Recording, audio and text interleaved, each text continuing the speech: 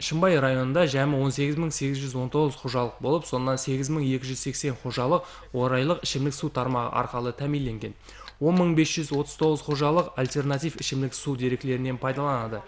Албетте жаңа поселкаларда кожалык салаларынын артуу менен суу тармактарын жеткирип берүүгө болгон талап күчөйөдү азыркы убакытта район тургунларын ичимдик суу менен баскычпа баскыч ta'minлөө боюнча жумуштар жүргүзүлгөн достук макан пукаралар жыйыны аймагында жайлашкан шымбай бас суу жыйноо тармагында көлөмү миң метр куб болгон эки дана суу саклагычына оңлоо жумуштары алып барылып атыр сонун менен катар ушул жылы мамлекеттик багдарлама тикарында бердак макан пукаралар жыйыны аймагындагы көп беш бүтүн ондон жети километр акаба суу кубурлары жаңадан тартуу hamda акаба насос станциясын куруу жумуштары жүргүзүлгөн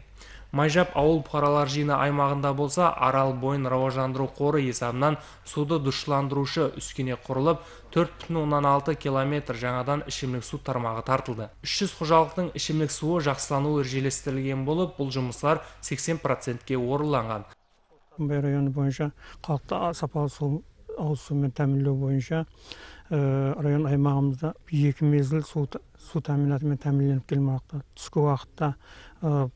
қалалық бас сооружениесінен үш сағат түйемойын сооружениесінен үш сағат одан кейін кіші құйын һәм сондай ақ ілімлі бас сооружениелерінен әрқайсысына екі сағаттан төрт тарапынан сумен тәмінлеу мүмкіншілігіне иеміз гидранттары өртке қарсы арнаулы су алғыштар болып пожар уақытларында районымыздың қалеген жерінен су алу мүмкіншілік туады. Соның үшін уақытында жұмыс істеу процесслерін жақсылап бару үшін ремонт жұмыстары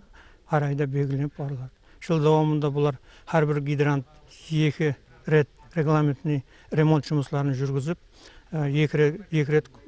көзден өткөрүлүп барылат албетте халыкты ичимдик суу менен ta'minlөө менен бир катарда айрыкча жагдайлардын алдын алууда тарап убакилдери менен биргеликте суу кудуктары да текшерүүдөн өткөрүлүп атыр.